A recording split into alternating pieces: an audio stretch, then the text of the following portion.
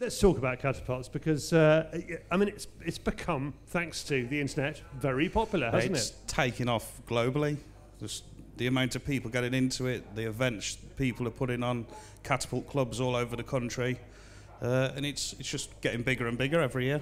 So if I if I I mean if, if I kind of listen to this chat and I and I like the look of what I see on the screen and that is an extraordinary shot. My goodness, what did you just shoot there? I don't know what. It was up in the sky. You just you just threw something up in it. What a was marble it? A marble Yeah. With a with a marble. With a marble. With a, yeah. Blimey. Okay, it'll take you a little while to get to get there. But if but if I wanted to just get going with with catapulting, is, is there a kind of central federation? How do I do it? Uh, the ESF English Slingshot Federation is the main one, and there's several other shoots popping up round and clubs. Uh, you can visit them online. Uh, just pay your membership and go, basically. And what what happens when I get there? What what do I find? Uh, friendly, a friendly bunch, very welcoming to give you tips, helpful advice. Uh, you'll have, if you're in competition, you can have anything from 10 knockdown targets at a set distance at 10 metre or 20 metre. Or just last week we was in Solihull at an event, and uh, the ESF put a hunters course on. That was 50 targets from probably that big to 60, 70 mil. So that's like dotted round the woods, Yeah, lots all of around the woods. and it's, it's got a cross between practical pistol Yeah. shooting and and It hunt was- field tar- yeah, target it, with it an arrow took about five, six hours to get around the course, I think. Really? Yeah. God. And, and and what was your maximum? When what could one score? 150, I think was the maximum. How did you get on? 95. Well, uh, was that was that enough to win or? oh, no, no, no. I, I, I, win, no. I was ni- nice to hear you're No. human. Anyway, that's, Yeah. that's good. Good to know. Um, so, I mean, I, I must say, I can vouch for the uh, for the social bit. I, I, Yeah. I mean, when I've been We- along to anything, You've been to one, haven't you? exactly, Yeah. and it's great. They're lovely people, Yeah. and uh, and you get to shoot catapult straight because you'll you'll pick up tips, Yep. and you know, it's it's a very Yeah, good you, thing to you do. can learn more turning up to one of the meets than you will anywhere else because they're just an helpful bunch. will basically show you where you're going wrong and put you right.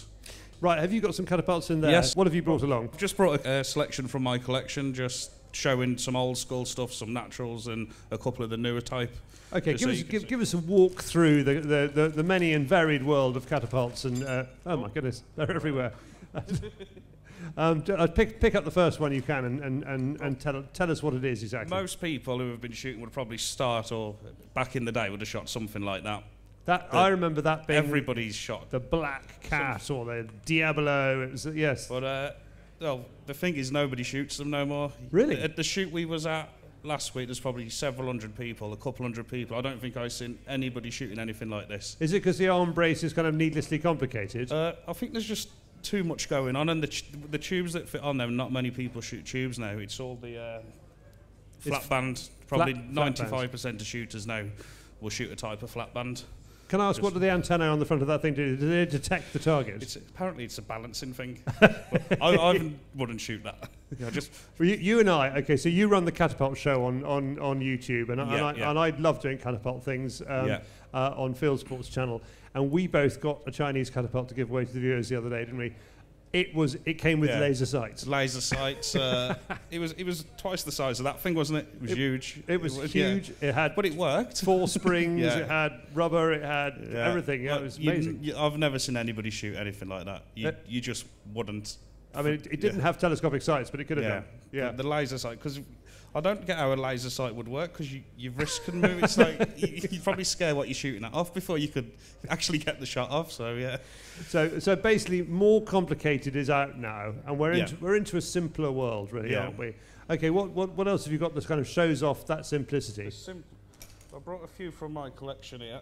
These are what most people are shooting now. The aluminium types, the polycarbonate types like the Wasp. Uh, just anything simple, small, and pocketable. Really now. There's no no design that's leading the way. There's several designs, but anything pocketable, lower forks, no arm braces, and flat bands. Okay, unloaded. Just just just show how you how you'd use one of those. I would shoot that one. Sorry. Like it is that. unloaded. Yeah, there's nothing in it. and I would look down the bands to line it up and use that as a reference point on the target. And then all you need to do then is just get your elevation right up and down. Because as long as you release it right, in theory, it should fly in the same line of the bands, unless you're using cork balls. And, uh, yeah, well, well, as, as we're about to find out. But it's interesting. On the only thing that's actually moving is your right arm from your elbow to your wrist. So Yeah. your hands staying the same, your right hand staying yeah, the will same, stay the same. and your left is just on, is just, just pulled like back. that, yeah. And and if you lock your right arm in, Yeah, I locked that one out, yeah. okay. So so once, once that's moved and in place, you you Yeah. know you it, it's up to you to stay rigid and Steady, solid. yeah. The more you shoot, your muscle memory will, you know, the repetition of it, you, you'll get used to it the more you shoot, basically. Okay, now we got we have a pigeon that's about to meet a sad end. Yeah, there it goes. Hey, good shot. um, now, I have heard people who shoot say it's illegal to use catapults to shoot, and yet Yeah. it's not, is it? Not in this country, anyway. Canada it is. Is it in really? Canada, yeah. And in Germany, if it has a wrist brace on. Oh, really? Apart Re- from that, it's pretty fair game worldwide. so the German lawmakers saw those great big technical things Yeah. of the 1990s and said, "No, we, we don't But- we don't want Yeah. those." But you could shoot this, which will put out more power. yeah.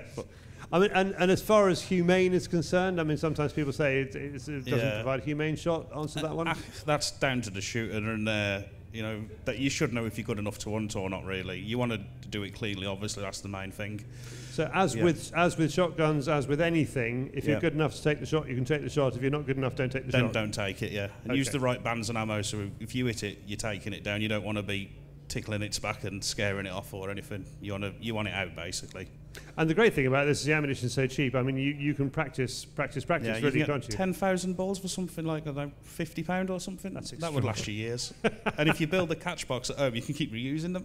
Yes, exactly. yeah. Yes, that's right. Because they're solid steel, aren't they? yeah, solid. Yeah. Size five, six. Size varies. I use 9.5. There's a lot of people who use sevens and eights. It's it's all preference. There's there's no right or wrong. I know somebody who shoots eights regular, and he kills everything. Just in and out basically, just quick, fast. There you uh, go. Yeah. it's- it does the like, it's like the 177 and the 2-2 argument. It, oh no, don't. yeah, no, it doesn't matter no. if it's small or big. It's Honestly, if- what, what works. yeah. If, if, if you want to annoy any of our viewers, either bring up the 1772 or Well, that's the same that we have on all the with all the catapult boys now. It's Exactly. like, well, this is better. Well, that's better. It's, it's what you prefer. No. Simple as that. Now, do you do you actually? Is this one of your own designs? That's one. one of that's one of my newer designs. Yeah. Okay, we'll do a little plug, shall we? Because you do actually some of these some of these catapults are available for sale from, from the Gamekeeper John website. Is that right? Yeah. Okay, well, what's the Gamekeeper's website? Well, my website is gamekeepercatapults.co.uk, and these aluminium ones that I do are on proshotcatapults.co.uk. And and so you work with ProShot as Yeah. well. So you I- design them. He's commissioned to do my metal ones, Okay. and then I do my own wooden ones and other stuff on my website. Okay, but there are, I mean, it's interesting that uh, I mean, when I went to the Shot Show in Las Vegas, which is all about guns, Yeah. there were there were catapults there as well, Yeah. And uh, I mean, some quite big makers like uh, Gammo, which actually owns BSA. Yeah, uh, yeah. they're making catapults now, and they're kind of doing them, you know, stamped out in plastic and plastic wrapped and things like Yeah, that. yeah. But they work. They work. well, we, we know a lot of Americans on the forums and the groups that we talk to, and none of them are shooting them arm wrist ones that you No. sent the video of. So that's just like No, what you see, but nobody uses them that much. There is No, I- people, obviously, but I, I, th- I think it's you know, as you get into catapults, you realise that that Yeah. design, the one you're holding, is is, yeah, is any, the one to go for. anything small and pocketable, really. That's- What's what's your biggest seller? Uh, it's the Pocket Poacher series. It is. We have a few various types in wood and all types. Can you hold those two up so we can see a difference? Is there a difference between those two, or are they the Yeah, same? that is over the top. OTT. So it's called OTT, which when you pull back, the bands go over the top. And that one is a TTF through the fork. So when you pull back, the elastic actually goes through the middle. Okay, can you see? Can you see the difference there? So you have got over, over the top and through the fork. And what? T- I mean, in terms of shooting it, what's the difference, or isn't there one? There's- Preference. It's I'm not going into that. I've got my preference, but it's each to their own. okay, so if, if you want to follow the gamekeeper John preference, what is it? TTF. TTF, through the fork every time. So Yeah. band round the side. yeah. Okay. I'm, I'm, I'm, I'm a very, very poor shot indeed, and I'm OTT. I shall now change, I Yeah. suspect. okay, what else have you got there? Because you've got some very kind of ordinary I- I wooden brought- ones. I've just brought a few out of my collection. Um, that's actually by uh, Bay Forge Catapults, a friend of mine. He actually done that out of old ironwork. Oh, The old okay. guy and um, basically bent it round. And that's a through the fork one. And And, um, so what was that? That was just a, that was a kind of long piece of metal. just a he's long just bent piece it. of iron that he's heated up and battered it basically into shape. Yeah.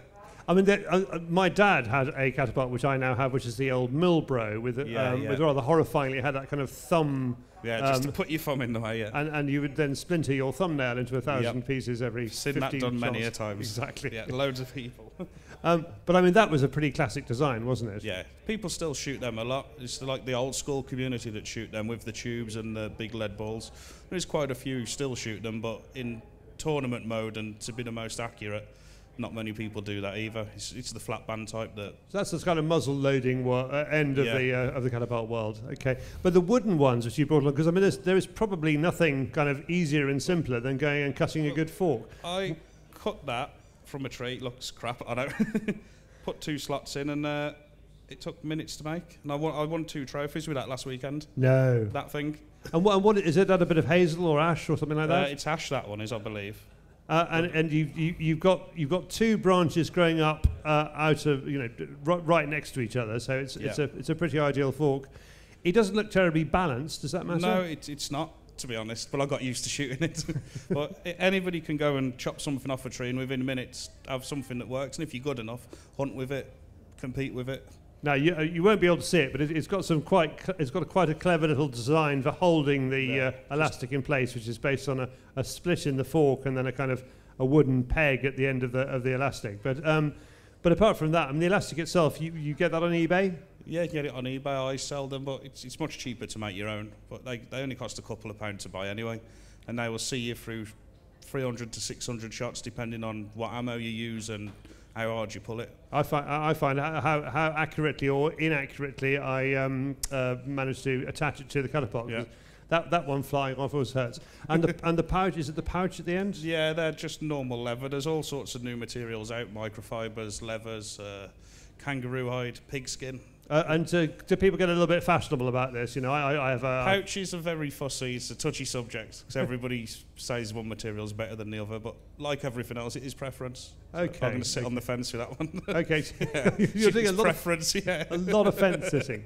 Are we reaching a point where you know you, you're going to move into you know professional sponsors, big Uh, ticket shoots? Could it be an Olympic sport? I believe so. In China now, they, they have it televised and there's big cash prizes. They're, they're a couple of years ahead of us.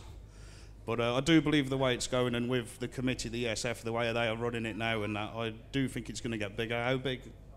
I We'll just have to wait and see. if you- if you- Um, one, one of the problems we have with clay shooting is, you know, there, there is this idea that it's intrinsically boring. Now, Yeah. we at Fieldsports Channel make clay shooting films, and we disagree because it's really it's okay. You knock that over, and that was a kind of dramatic moment where it fell Yeah. over.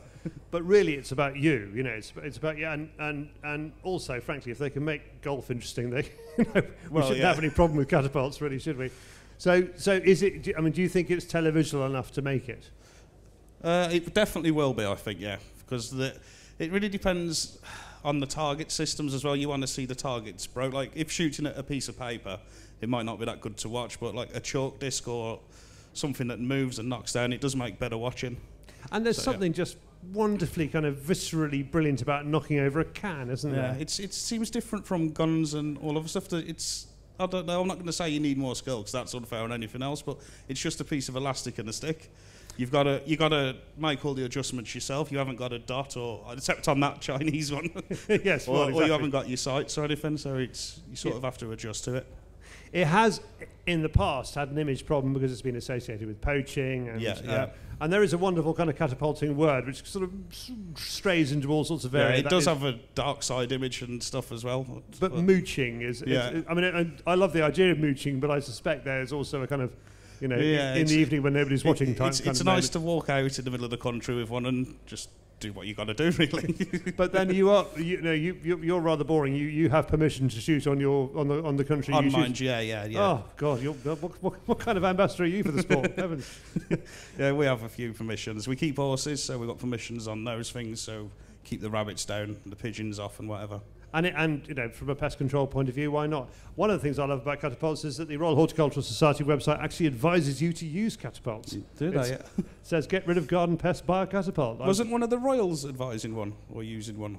Did I, I hear could- you say that once? Oh, I'm sure. I, I, I say a lot of old tosh. Yeah. I'm sure it was you that said it. I think. Would, well, I wouldn't be surprised. I mean, I've always felt that it was, you know, it's one of the nobler things you can learn to shoot. If you can shoot a catapult straight, yeah. you know, you can, you'll probably be all right with a gun. With a gun, yeah, definitely. yeah. Yeah. Okay, so we, we have got a bright future for catapulting. Yeah, definitely. Yeah, it's in safe hands with the committee that's got it now and the way it's going. And lovely people who do it. Uh, a wonderful range of what? What are your prices for catapults here? Uh, you can buy DIY kits for literally a couple of pound, or you can have high-end cast ones up to 60, 70 pound. There's something for everybody, really.